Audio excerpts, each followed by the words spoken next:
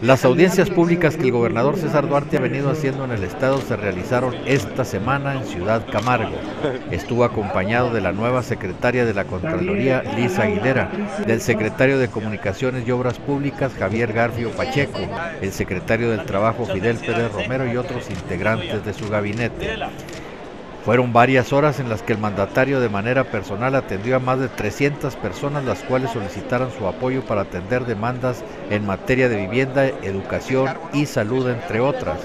Duarte, acompañado también de su esposa, hizo la entrega de pólizas de seguro popular y varios apoyos. Aquí déjeme. Muy amable. Le decimos que, que sigue y este tema de economía